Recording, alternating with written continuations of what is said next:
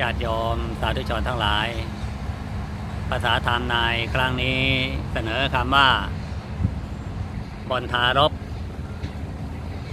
อะคำว่าบนทารบหมายถึงเป็นชื่อของดอกไม้ ชนิดหนึ่งที่อยู่บนสวรรค์หรือว่าจะเรียกว่า ดอกไม้ทิพย์ก็ได้ ท่านกล่าวว่า ดอกบนทารบนั้นเป็นดอกไม้ทิพย์ดอกไม้บนสวรรค์ มีขนาดใหญ่เท่า ถาดใบใหญ่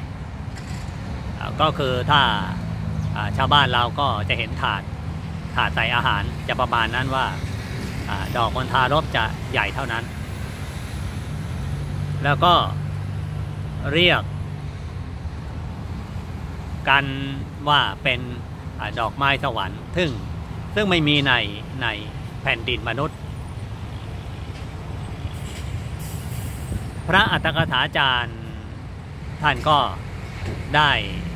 กล่าวเอาไว้ว่าในครั้งนั้นพระโพธิสัตว์เป็นดาบทมีฤทธิ์มากชื่อว่าสุติมะ ได้นำดอกบนทารบจาก วโลกมาบูชาพระบรมศาสดา ดอกบนทารบเป็นดอกไม้สวรรค์ที่จะตกลงมาโลกมนุษย์ ก็ต้องอมีเหตุการณ์ที่สำคัญสำคัญเกิดขึ้นเท่านั้น ตัวอย่างเช่นในวันที่พระพุทธเจ้า เสด็จดับขันธปรินิพาน ดอกบนทารบก็จะตกลงมาทั่วเมืองกุสินารา แล้วก็มีอาชีวก คนหนึ่งเก็บ เอาไป เดินไปทั่วทั่วอาที่อาชีวกคนนั้นเดินไป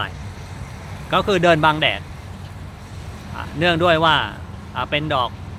ไม้ที่ดอกใหญ่ อาชีวกในครั้งที่พระพุทธเจ้าปรินิพาน แล้วดอกไม้สวรรค์ตกลงมา อาชีวกก็เก็บดอกไม้ชนิดนี้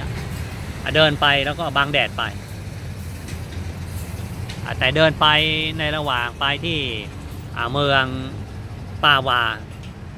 ในกลางทางก็ได้พบกับมหาพระมหากัสสปะ แล้วก็โม พระภิกษุสงฆ์ก็จึงแจ้งข่าวการปรินิพานให้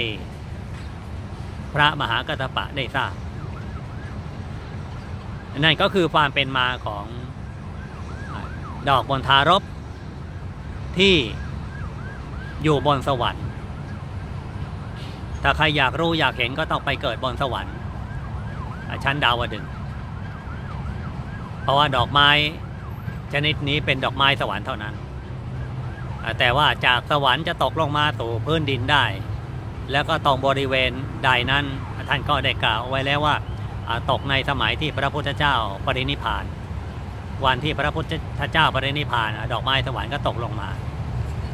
เพื่อเป็นสัญลักษณ์ให้รู้ว่าพระพุทธเจ้าปรินิพานด้วย และเป็นสัญลักษณ์ให้รู้ว่าบุคคลทั่วไปก็ไม่มีโอกาสที่จะได้พบได้เห็นด้วย นอกจากวันที่พระพุทธเจ้าจะปรินิพานเท่านั้นฉะนั้นสิ่งเกิดขึ้นหรือว่าความเป็นมาเกี่ยวกับดอกบนทารบนั้นก็ก็จึงไม่ได้เป็นดอกไม้ในพื้นมนุษย์พื้นโลก แล้วก็ไม่เป็นดอกไม้ที่ว่าไม่ว่ายุคไหนสมัยไหนว่าจะได้เห็นได้อนอกจากต้องเกิดทันสมัยของพระพุทธเจ้า และพระพุทธเจ้าวันที่พระพุทธเจ้าปรินิพานนั่นแหละ ดอกมันทารบดอกมณฑารบก็จึงล่วงมาจากบนสวรรค์เพื่อมาบูชาพุทธสรีระของพระพุทธเจ้านั่นเองญาติโยมสาธุชนทั้งหลายภาษาธรรมในครั้งนี้อาตมาภาพขอหน่วยพรให้ญาติโยมสาธุชนทั้งหลาย จะมีความสุขมีความเจริญทั่วหน้ากันเทินเจริญพร